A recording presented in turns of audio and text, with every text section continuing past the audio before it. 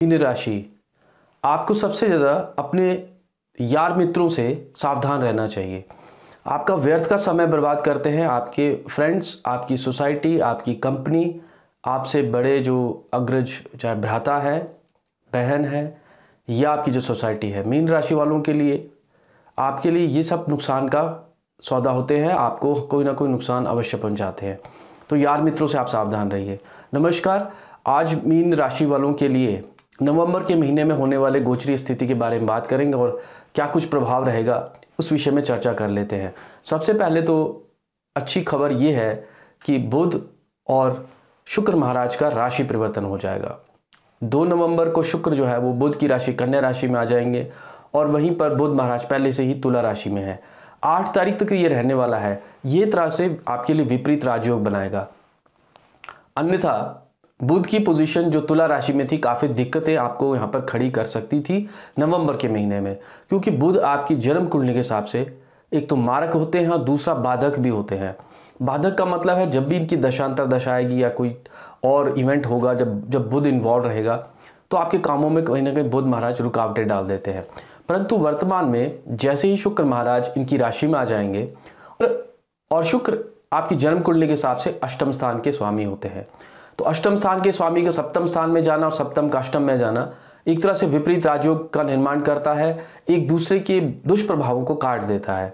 तो इसलिए अब आपको जो है दाम्पत्य सुख इस महीने रहने वाला है और ख़ास तौर पर ससुराल पक्ष से लाभ की परिस्थितियाँ बनेगी। जो लोग इंश्योरेंस सेक्टर से जुड़े हैं, जो लोग LIC के क्षेत्र से जुड़े हैं, जो लोग बैंकिंग फाइनेंस के काम से जुड़े हुए हैं, उनको इन दिनों में काफ़ी अच्छा लाभ प्राप्त करने के अवसर यहाँ पर प्राप्त होते हुए नज़र आ रहे हैं। शनि मार्गी हो गए हैं आपके। इसीलिए तो मैंने आपको कहा है कि आपको अपने अभी वर्तमान में यार मित्रों से, अपनी कंपनी से, अपनी सोसाइटी से, जिनके साथ आप घुलते मिलते हैं, उनसे सावधान रहना है वो आपका समय बर्बाद करते हैं और आपके लिए कोई ना कोई परेशानी का कारण हमेशा बनते रहते हैं। इस महीने आप देखिएगा, आपको कहीं ना कहीं कोई अम्यूज़मेंट पार्क थिएटर में, कहीं ऐसी जगहों पे जहाँ अमोद प्रमोद होता है, जहाँ खुशी का वातावरण रहता है, ऐसी ऐसी जगहों में जाने का अवसर मिलेगा।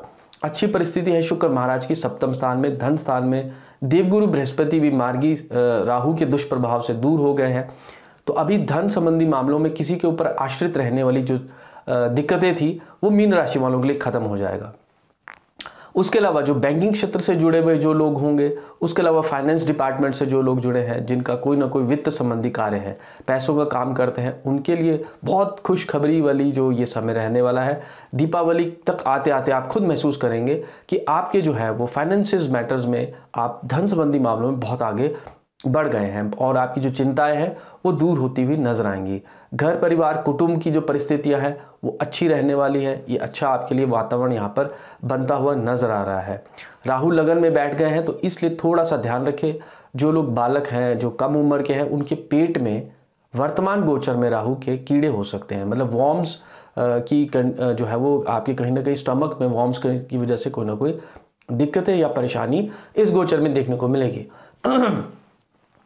सतारह नवंबर तक विशेष तौर पर जो है वो ध्यान रखें, आपका घर का कोई सोना गुम हो सकता है। जी हाँ गोल्ड का नुकसान हो सकता है। उसके अलावा जो ऑप्टिशंस हैं, जो आँखों के जो चश्मे बनाते हैं, या आपका खुद का चश्मा भी कहीं टूट जाए, आँखों में कोई प्रॉब्लम्स हो जाए ऑप्टिशियंस का थोड़ा बहुत दिक्कतें दिखाई दे रही हैं और डॉक्टर्स को खास तौर पर सावधान रहना है।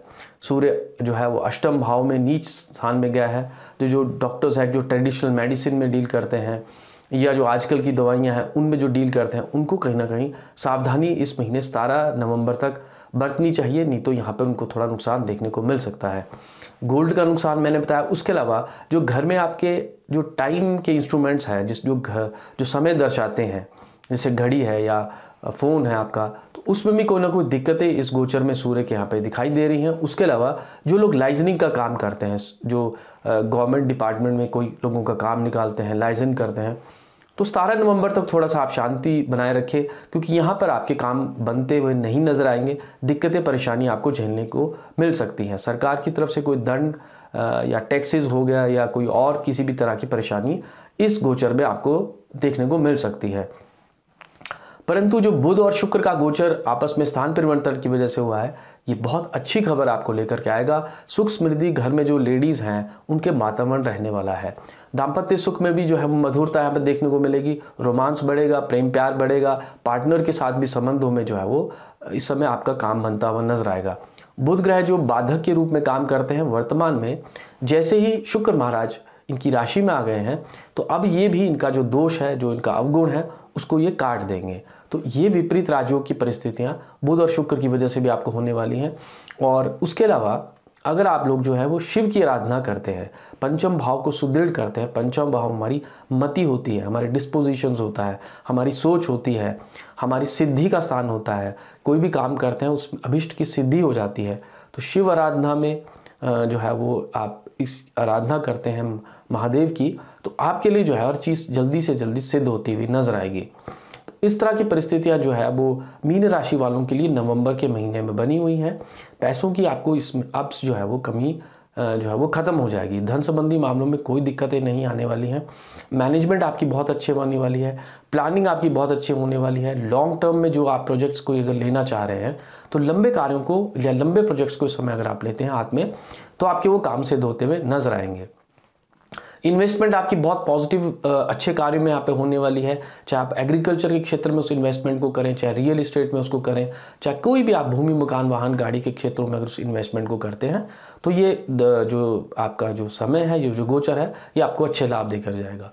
परंतु वहीं अपने यार मित्रों से और अपने संबंधियों से, अपने रिश्तेदारों से थोड़ा सा आपको सजग रहना है, ये दिक्कतें देंगे। और गृहिणियाँ खासतौर पर ध्यान दें, इस महीने सतारह नवंबर तक सोना गुम होने की या सोने की तरफ़ से कोई ना कोई गोल्ड की तरफ़ से कोई ना कोई आपको परेशानी देखने को मिल सकती है। तो ये था आ, मीन राशि वालों के लिए नवंबर के महीने का गोचर और उस पर छोटा सा वीडियो। उम्मीद करता हूँ वीडियो आपको अच्छा लगा होगा। If you like the video please subscribe the channel thanks for watching the video